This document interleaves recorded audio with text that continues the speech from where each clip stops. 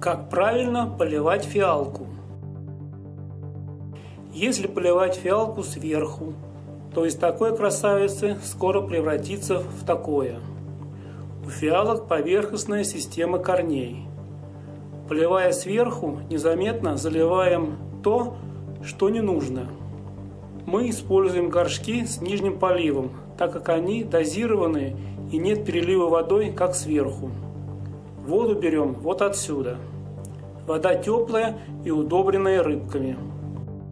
Наливаем в поддон не больше, чем влезает, что видно в прозрачных горшках. Полив хорош, когда фиалок не очень много. Второй способ – это когда уезжаем на отдых. Берем емкость, наливаем воды, ставим горшок с фиалкой. Вода, так как в доме тепло, испаряясь, питает влагой землю, фиалки. Воды на три недели хватает.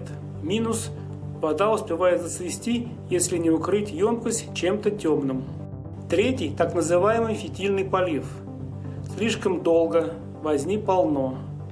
Купить веревку, засунуть веревку в дренаж, расковыряв пол горшка. Сложная конструкция. Способ для тех, кто любит возиться с цветами часами. Все просто. Вся технология основана на личном опыте.